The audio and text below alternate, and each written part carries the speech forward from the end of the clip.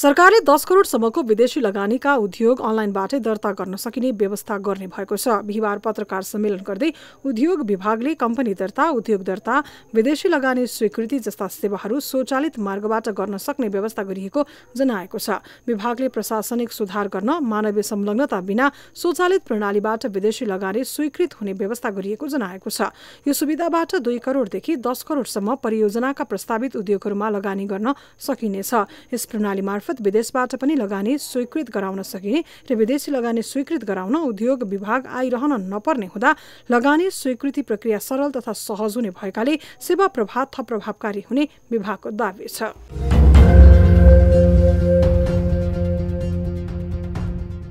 नेपाल वायु सेवा निगमले बिहिबार विज्ञप्ति जारी गर्दै कर्मचारी सञ्चय कोष र नागरिक लगानी कोषलाई ब्याजको ब्याज हर्जना र प्यानल छुट गरी सहयोग गरिदिन आग्रह गरेको छ।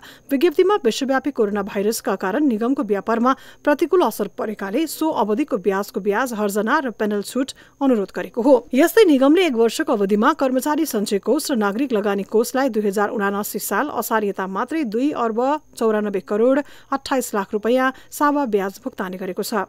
अहिले निगमसँग चारवटा जहाज छन्। कोभिडको समयमा झण्डै टाँट पल्टने अवस्थामा पुगेको निगमले पछिल्लो समय उडान र ग्राउन्ड ह्यान्डलिङबाट सन्तोषजनक आमदानी गरिरहेको छ।